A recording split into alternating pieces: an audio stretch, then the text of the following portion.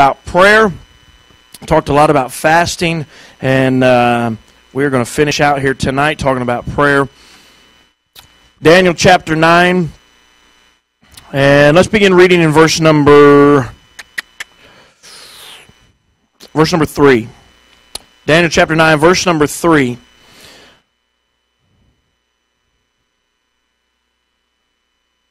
Okay, time out. Ito stands up like I'm going to bust him for I'm not busting. Okay, so sorry, brother Peterman. This is about pastor appreciation. Okay, we're doing. We're going to do pastor appreciation this coming Sunday night because I thought he was going to be gone. I didn't realize until he told me today he would be back Sunday night. So we've already sent out the text message that we were going to plan for next Thursday to do pastor appreciation. We'll just stick with that, and he'll think we forgot. Okay, and it'll be fine. We'll make up for it next Thursday night. So pastor is next Thursday night. We're doing the pounding, and uh, we need lots of stuff. You know what a pounding is? Uh, non-perishable food items, laundry detergent, toilet paper, all kinds of anything they can use at home. All right, bring that. If you want to bring it between now and then, bring it to my house. We'll keep it there. I'll use what I want. And uh, amen.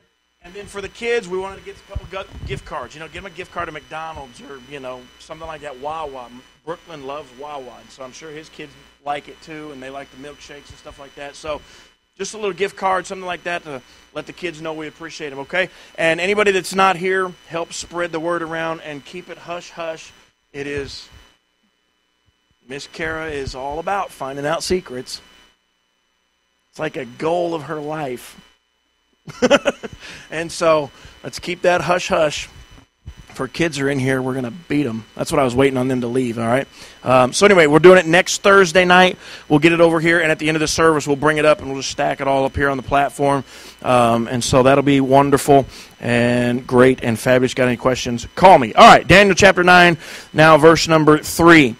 And I set my face unto the Lord God to seek by prayer and supplications with fasting and sackcloth and ashes. And I prayed unto the Lord my God, and made my confession, and said, O Lord, the great and dreadful God, keeping the covenant and mercy to them that love him, and to them that keep his commandments. We have sinned. He says, We have sinned.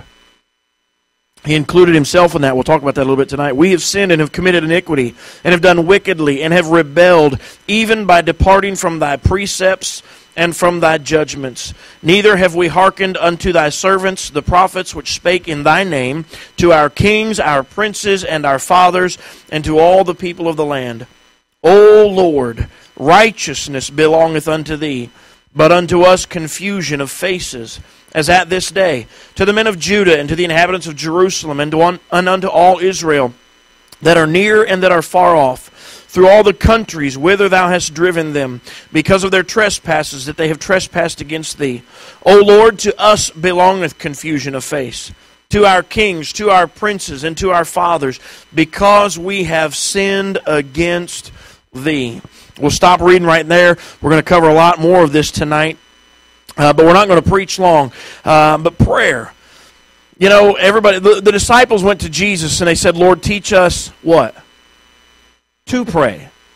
They didn't say teach us how to pray. They said teach us to pray. Probably everybody in this room tonight, we've got a method down and we know how to pray. We could go through a prayer list. We've got the methodology down. But probably, if we're all honest, the biggest struggle we have is just simply to pray. Not that we don't know how. Tonight we need this. We, we uh, and the preacher's been burdened about it, and we've talked about it, and he's preached on it several weeks. And we want to have this prayer meeting, so we're not going to preach long because we want to have prayer time. But man, we've got to we've got to get to a place in our lives where prayer is important. Sleeping in is not important. It's hard to get up. I'm sure carrying the cross was hard. You say, "Oh, come on, that doesn't count." Why not? Why, why doesn't it count? I mean, that's what he did for us, and I can't get up 10 or 15 minutes early to spend some time praying and reading my Bible. Uh, it's important, and that's for all of us, all right? I'm not trying to uh, bust anybody out tonight. Uh, I'm just saying, uh, really, that's not that big of a deal. It's not that big of a struggle to get up and pray, and prayer is what we need. The de- I've heard it said this the devil fears most a praying Christian. The devil doesn't really worry about you reading your Bible because power comes from prayer. You can read your Bible and be completely out on God. But if you're really genuinely praying, you're getting a hold of God, you will be close to Him. You will be close. And that's what God wants us to do. God wants us to do. That's where He wants us to be. And that's what the devil wants to stop us from. So let's cover it tonight. We'll, uh, we'll pray. We'll have another quick song, and then we'll get right into this. Heavenly Father, I pray that you would help us tonight. Uh, Lord, prayer, we need it. And God, uh, as we as we talk about what Daniel did and how he prayed and some of the things that he prayed for, uh, God, I pray that you'd help us to take those things to heart and to mind and, and, apply them to our lives. God, there's probably not a Christian here, probably plenty of Christians that do pray, but probably not one Christian here that couldn't go to another level in their prayer life, that couldn't maybe do something different or change it, make it more meaningful, make it more real. And so, God, I pray that you challenge us tonight, and then as we spend some time praying, I pray that it would not be just a a casual time of let's get this over with and just get through it. But God, I pray we'd get a hold of you. Lord, our country is in a mess. And the only thing that will bring it back is praying to the God of heaven. Your people getting a hold of you. And so I pray that you'd help us to be able to do that tonight. Bless us, I pray, in Jesus' name. Amen. You may be seated.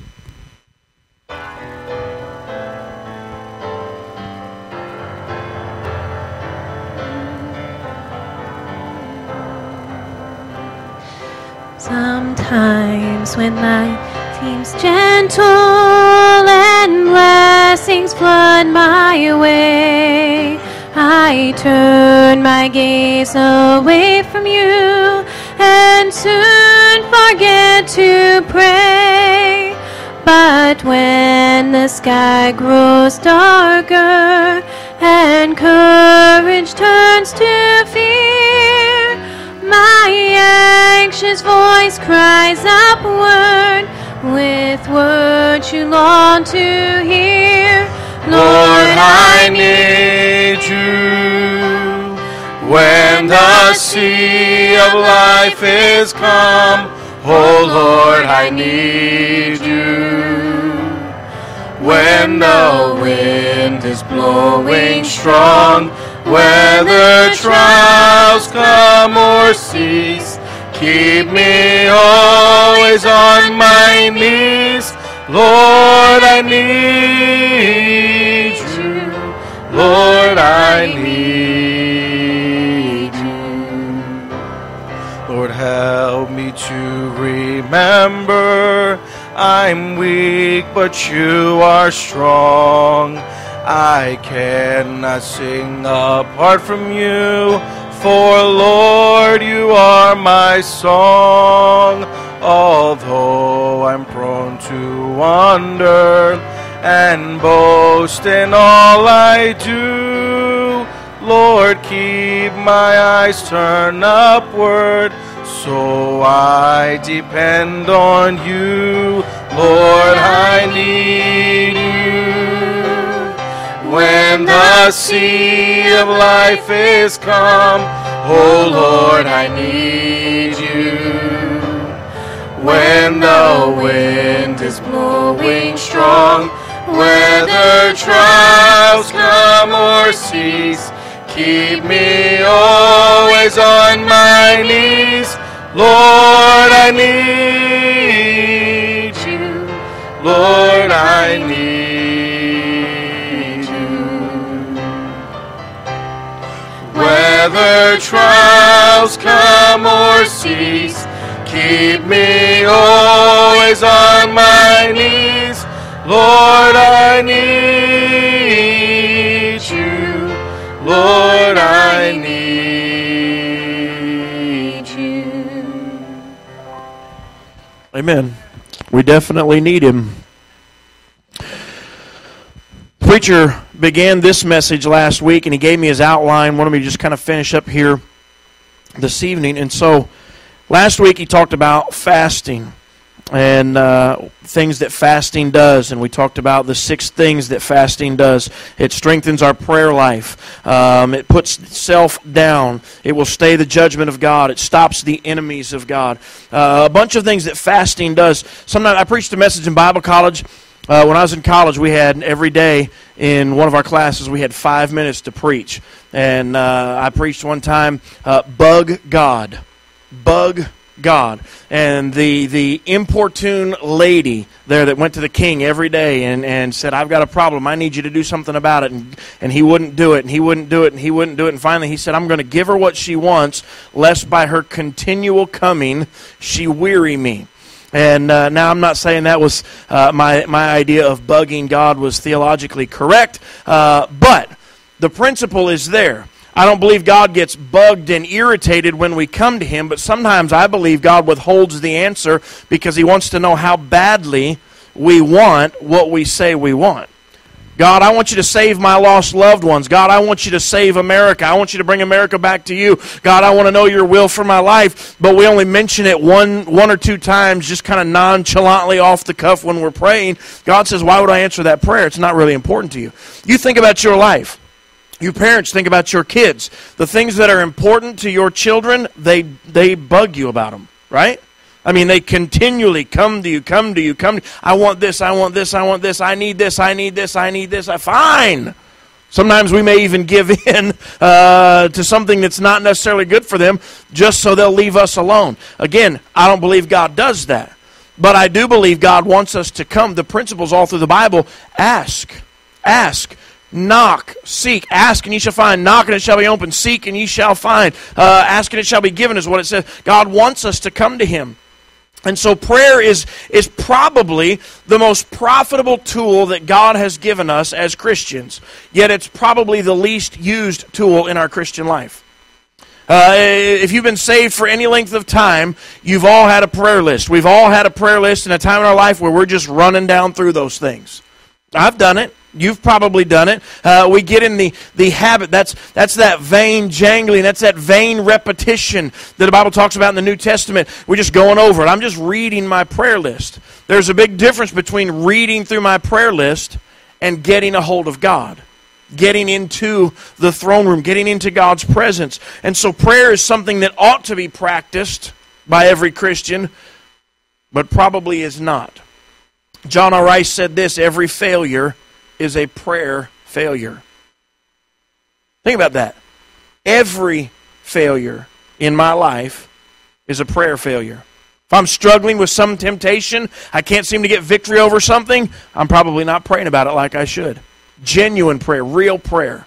Uh, if there's a need that's not being met in my life, it's not because I don't have the God who can answer. I'm probably just not asking. What do you say in, in, in the book of James? Ye have not because ye ask not. And so prayer is something that's vital to the Christian life, yet many do not do it, or we're just in a, uh, a routine, uh, and it doesn't really mean anything. And so I want to talk just about uh, a few things here tonight. Preacher said, uh, he talked about fasting last week. This one we want to pray. Number one, we want to pray with steadfast confidence steadfast confidence. Now, the preacher was talking last, last week a little bit about our country. And obviously, anybody that pays any attention at all, we know America's in a mess. We know America is in trouble. Uh, and I don't know if America will ever come back to God. I'm not one of those that, that says I don't believe revival can happen, um, but sometimes I wonder. Okay, I'm just saying, I know we're in a mess. Uh, but we need to pray when we pray with steadfast confidence. Look at Daniel chapter 9 and verse number 4. Verse number four Daniel says, I prayed unto the Lord my God and made my confession and said, O Lord, the great and dreadful God, keeping the covenant and mercy to them that love him and to them that keep his commandments. Daniel's about to start confessing some sins, but right there, he's talking about, he's talking to God, but he's talking about who God is from a knowledge that he knows. He knows God is the great and terrible God. He knows God is one that keeps His word and keeps the covenant with those that keep His commandments. Daniel knows that by experience. And so he's got a confidence when he prays that I'm praying to the God.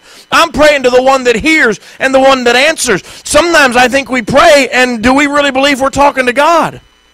I mean, do we really think, do we have the confidence that God can do what we're asking Him to do? I mean, you think, I don't know what you're praying about tonight, but you think about your uh, the things that you need God to do, the things that maybe tonight you're asking God specifically for. When you pray, do you pray confidently, understanding and knowing that God is able to do this? God is capable. You see, God is able and capable whether you believe it or not. But the, the Bible also talks about if you don't believe it, you're not going to get the answers to your prayers. You have to pray believing. David was or Daniel was confident, and then he was steadfast in his praying. Let's look at some verses. Look at verse number seven. O Lord, righteousness belongeth unto thee, but unto us confusion of faith. You see, David, or I keep saying David, Daniel knows his place. He knows where he's at. Daniel, I don't believe Daniel is out on God. I don't believe Daniel is backslid, but he includes himself in this group. He's saying, We have sinned. We have done wickedly. You think about America tonight. There's a lot of Christians running around. There's a lot of pastors and preachers and evangelists running around saying you need to, uh, they're talking about who to vote for. And I'm not going there tonight. Uh, but if you vote for Trump or Hillary, uh, then you're not right with God as a Christian. You need to vote third party and blah, blah, blah, blah, blah. And who you vote for at this point doesn't matter to me. Yeah, amen. I vote for Jesus. I'm going to write him in. I'm just saying, uh, we got to be careful. Some of these, these people are running around with this high and mighty attitude. Well, if America goes to hell because all you other Christians didn't do right. No, no, no. If America goes to hell, because, it'll be because we, you, and me. The reason America's in the mess that America's in is because Christians like us have not done what God's called us to do for the past several decades. You say, Well, I just got saved. I understand that. But we're all Americans tonight, and I believe everybody in this room is a Christian tonight. That makes us part of the group as a whole. America as a whole kicked God out. I'm an American. So I'm part of that group. Does it make sense? Don't be one of these uh, these pious Christians that think, well, uh, it's because everybody else did. And I don't think anybody is. I'm just saying we've got to be careful of that. That's a mentality the devil could get in and corrupt our minds with, corrupt our thinking with, and we think, well, it's it's all those other Christians' faults. No. Daniel said it's it's us. It's me. It's not my brother or my sister, but it's me, O Lord, standing in the need of prayer. Verse number seven, he says, O Lord, righteousness belongeth unto thee, but unto us confusion of faces, as at this day. Uh, look down at verse number nine. To the Lord our God belong mercies and forgivenesses, though we have rebelled against him. Again, Daniel didn't do anything to rebel against God, but he's including himself in a group. As in his confession, he's saying, God, we have done wrong. We have done wrong. Look at verse number 14. As it is written in the law of Moses, all this evil is, is come upon us, yet made we not our prayer before the Lord our God, that we might turn from our iniquities and understand thy truth. Listen, all of these, he's talking about the, the might of God, the power of God, the goodness of God. He says, We've sinned, but God, you're full of forgiveness, you're full of mercy, you keep your promises, you keep your covenants to them that keep your commandments. His focus is on God. Verse number 20 and 21. And whilst I was speaking and praying and confessing, look at it, my sin and the sin of my people Israel, and presenting my supplication before the Lord my God for the holy mountain of my God, yea, whilst I was speaking in prayer, even the man Gabriel, whom I had seen in the vision at the beginning, being caused to fly swiftly, touched me about the time of the evening oblation. What's happening here? Daniel's got his prayer in order. He's, he's praying confidently to the only God there is, and he's steadfast in the fact that, God, you're right. You, you study it out. Look at what he's saying there. God, you're right, we're wrong. He's steadfast in it, he's sure in it. He's not praying in confusion. Too many times, I think a lot of us do that. We pray confused prayers. We confuse ourselves, we might even confuse the Lord. He's steadfast. Steadfast means fixed in one direction, firm, unwavering. Daniel's not all over the map. Daniel understands if we're going to get right to God, with God, if we're going to get back to God, it starts with confession. And it took him the first 20 verses of Daniel chapter 9 to confess sin. His sin and the sin of his nation. How often, how, how much time do I spend confessing sin? God, I can't remember everything I did wrong yesterday. I pray that you just forgive me for everything, cleanse me. You know, that might work once in a while. But Brother Weedo says this you sin them one at a time, you ought to confess them and get them right one at a time. Keep short sin accounts. Keep short sin. Don't wait until the end of the day and then go back and confess all your sins. You'll forget them. When you do wrong, get it right right away. As soon as God convicts you about it, get it right. But he was steadfast. He was unwavering in his direction. He knew what he wanted from God, but before he could get to that point, he had to make sure he was getting right with God. We're to pray with steadfast confidence. Basically, it means this glance at your problems, but gaze at God. Daniel knew what the problem was. He knew what the sins were, but he wasn't dwelling on the sins. He confessed them, but he was dwelling on who God was. God, you're merciful. God, you've promised that you'd forgive. You're full of forgivenesses. He said there in verse number 9, uh, God, you're full of mercy. You're full of grace. You're full of. His gaze was on God. He knew what his problem was, and he glanced at it. God, here's what we've done. And God, I'm going to confess them, but God, I'm going to throw, your, throw myself at your mercy.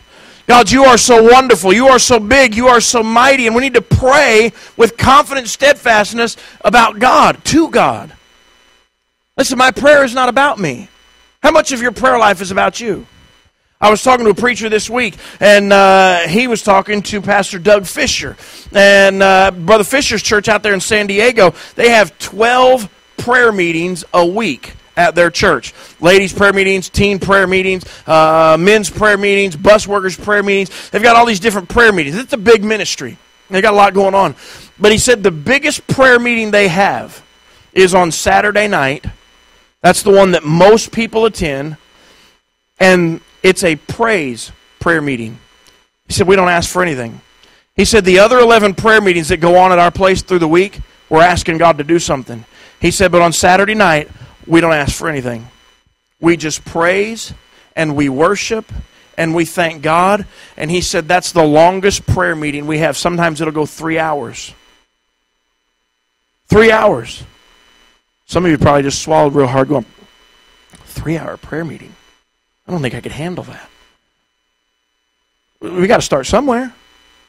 We got to start somewhere praising God. You see, it, was all that prayer meeting for them is all about God, praying with steadfast confidence. I am not concerned today. I am not worried that when I pray, I'm praying to a fake God. Does that make sense? I know who I'm praying to. I'm praying to the God of heaven, Jesus Christ, Jehovah.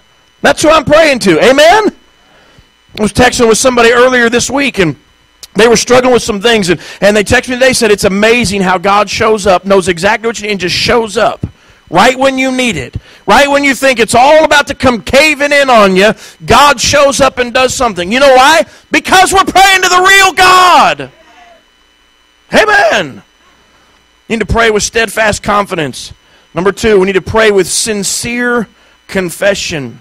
Sincere confession. The word sincere means earnest, genuine, and real. Earnest, genuine, and real. We'll not take the verse or the time to go back through all of these verses, uh, but you read Daniel chapter 9 again, and he's very genuine in confessing their sins. He's naming them specifically, but this is not just a generic, we blew it, please forgive us. No, he's getting specific, and he's getting real with God. And he said in verse number 20, when I confessed my sins. You see, in order to confess, confess means to make known. To, in order to confess your sins, you have to confess what you know. And if you just wait till the end of the day or wait until the next morning to blanket prayer your sins, that's not confession. Confession is saying, This is what I did wrong. I acknowledge it. I understand it. I agree with you, God, that I did this. This was wrong. That's what confession is. That's what they ask these these guys, uh, uh, murderers and all that. Do you want to do you want to make a confession? No. Why? Because they don't want to get in trouble. They're going to try to play the system. Uh, too many Christians trying to play the system with God, and God doesn't play that way. Confess them. Get real with God. He already knows what I've done anyway. Why would I try to hide? The Bible says in Proverbs, Whoso hideth and covereth his sins is not wise. The opposite of being wise is fool in the Bible. I'm a fool if I try to hide it from God. He already knows. Get real with God. Romans chapter 3, verse 23 um, says, and I always get that one mixed up with 10. What's it say? Was that one it? Are you sure? I can't find Romans. 310. For all of sin and come short of the glory of God. 323. Okay, whatever, I'll trust you. Confessing. We are we are wrong. You can't get saved without confessing your sins to God. Now, that's not every sin of your life. That's agreeing with God, I am a sinner. I have my whole life is wrapped up in sin. But once I get saved, 1 John 1 9 says you need to confess them. Confess your sins, and he's faithful and just to forgive you your sins, the ones you confessed. If you're not willing to get real with God and admit where you're wrong, he's not he's not going to forgive you of that. You got to confess it. And Daniel was real with God. He was sincere with God. James chapter 5. Take your Bible and go over there. We'll come back to Daniel in a minute. James chapter 5.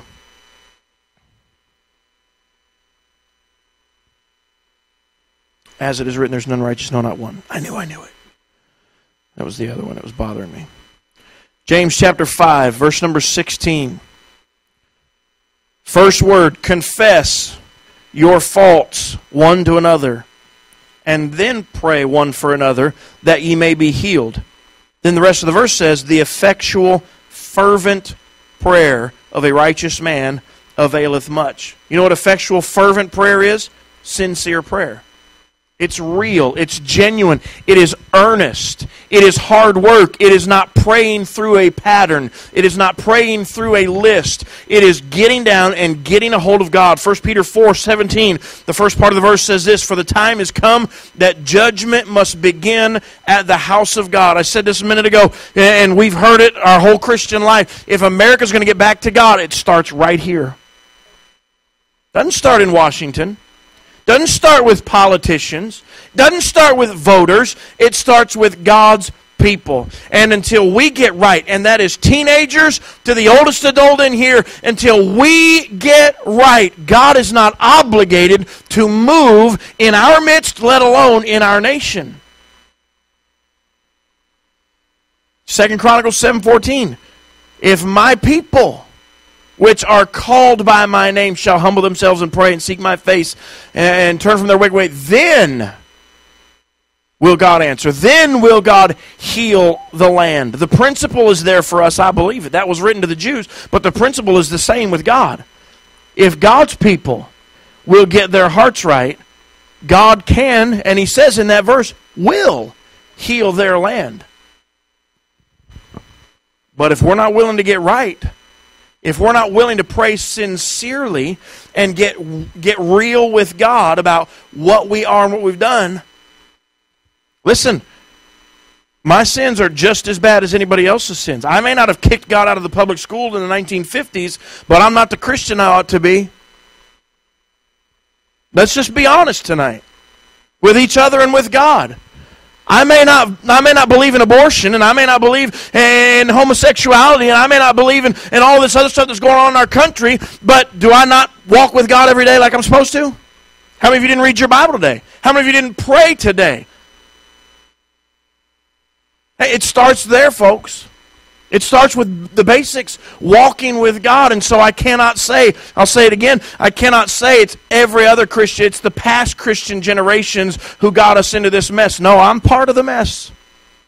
And until I'm willing to admit it, and until I'm willing to agree with God that my sins have helped get us here, it's not being real with God. Sincere confession. And then lastly, we need to pray with spiritual concern. Pray with spiritual concern. When Daniel prayed, he was not just trying to get out of trouble. Who's ever done that? Sure. My testimony. When I was 12 years old, I cheated in school. My dad threatened to kill me, but we were having revival that night.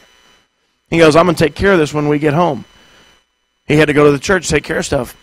And I kid you not, my thinking, my thought pattern was if I get saved, it might save me from a beating. And it worked. Except I didn't get saved. I didn't get whooped, but I didn't get saved. You see, I was not praying for spiritual concern. I was praying to get out of difficulty. I was praying to get out of trouble. I was using God to bail me out. The rest of the time I didn't need Him. How many Christians have ever prayed that way? Sure, I have. Sure, I have. When things are going good, I don't really need the Lord. So I think. I need God all the time. But too many Christians wait until the storms show up in their life and then they want to go run into God. Just like the disciples in the storm started throwing stuff out of the boat, trying to figure it out themselves, and then finally go to God God, save us. Don't you care about us? You're down there sleeping in the bottom of the boat. We've thrown out everything we need. God goes, Oh, you have little faith. You know what that means in 21st century English? Dummy. So I can calm the storm. We still got nothing to sail the ship with because you threw it overboard. Now it's Jesus, and he got him back safe uh, to land. I'm just saying, that's that that mindset, and we still have it today. We need to pray with spiritual concern. Daniel wasn't worried about getting out of trouble. In fact, I think if you study the timeline, Daniel was dead long before God ever bailed them out of captivity. And really, from, from Babylon, Babylon on, they were kind of in captivity, and they're still being messed with. Everybody still hates the Jews. He wasn't praying to get out of difficulty, it was a spiritual concern. Daniel wanted to be right with God. Daniel was praying for the glory of God. He was praying with a spiritual mind. And so let me ask you tonight, and we're, we're done, and we're going to spend some time praying. When you pray, are you praying with God's goal in mind, or are you praying with your goal in mind? What is your goal? It could be as simple as I need to get through my prayer list so I can say I prayed today, or I need God to fill these requests on my prayer list, or are we praying to get a hold, like they did in the Old Testament, get a hold of the horns of the altar? Remember when Joab was killed? You know where they found him? In the temple, hanging onto the horns of the altar. He's trying to get a hold of God. Now it was a little too late for him and he was doing what we're talking about not doing. He was praying to get out of trouble. But that's what we need. We need some Christians to get a hold of the horns of the altar, not to get not for God to necessarily bail us out, but for God's will to be done, for God's glory to be seen. You know, Paul suffered with that thorn in the flesh the rest of his life. Three times he asked God, and God said, No, my grace is sufficient. You need that thorn to keep you honest. You need that thorn in the flesh, Paul, so that you understand every day you need me. And then I can get glory from your life. But if I take it away, you forget me. Sometimes I think God leaves me in the storm because that's the only time I talk to Him. Just keeping it real. Heads bowed, eyes closed.